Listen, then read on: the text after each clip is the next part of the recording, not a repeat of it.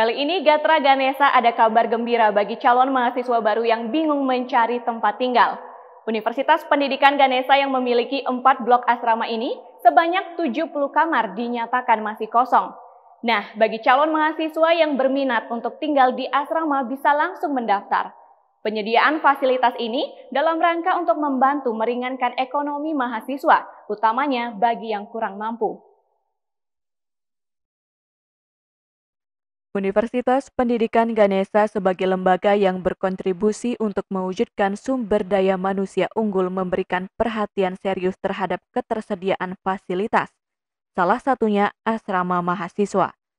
Penyediaan fasilitas ini dalam rangka membantu meringankan ekonomi mahasiswa, utamanya bagi yang kurang mampu.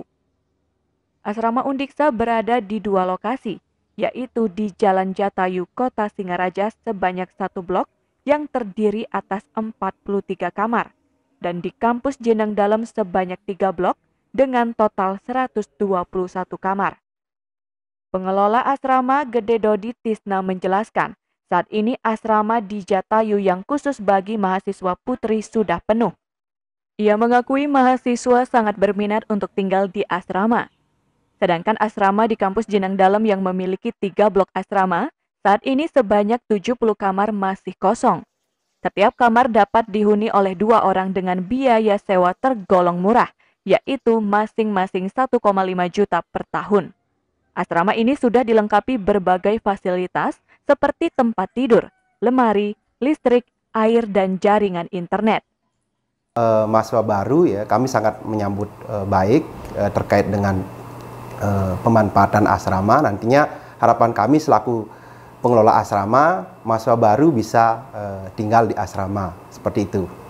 Sejauh ini uh, kuota yang masih tersisa berapa, Pak? Kuota uh, untuk asrama di Jatayu, ya, jadi untuk di Jatayu ini khusus asrama putri yang terdiri dari 43 kamar itu sementara sudah uh, penuh ya karena peminatnya sangat uh, banyak gitu ya. Eh, dari tahun kemarin kami sudah buka gitu dan peminatnya sangat banyak. Jadi jadi untuk di asrama Jatayu itu sudah uh, penuh. Sedangkan di asrama Jeneng Dalam ya yang terdiri dari tiga tower ya. Jadi kemarin baru terisi kurang lebih uh, sekitar uh, 121 kamar yang kita punya di asrama Jeneng Dalam dan sudah terisi sekitar 50 satu kamar gitu ya. Dan yang kosong masih sekitar uh, 70 kamar. Jadi ini uh, kesempatan baik buat masa baru ya sehingga nantinya masa masa baru bisa uh, tinggal di asrama di uh, Jeneng Dalam gitu. Nah, terkait dengan uh, teknis ya, jadi mahasiswa baru bisa nanti uh, mendapatkan informasi ya melalui web Undisa ya. Jadi kita juga sudah punya web terkait dengan asrama ya.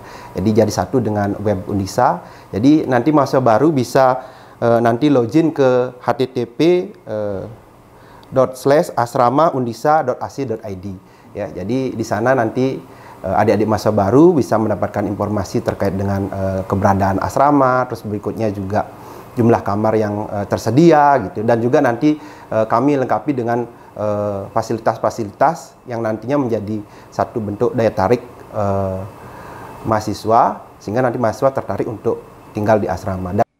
Pemanfaatan asrama oleh mahasiswa diutamakan bagi mahasiswa yang tidak mampu dan memiliki kip kuliah. Melalui fasilitas ini, beban ekonomi mahasiswa diharapkan dapat berkurang. Teknis untuk bisa tinggal di asrama, mahasiswa baru bisa mendapatkan informasi melalui website Undiksa atau dapat menghubungi langsung pihak pengelola. Humas Undiksa melaporkan.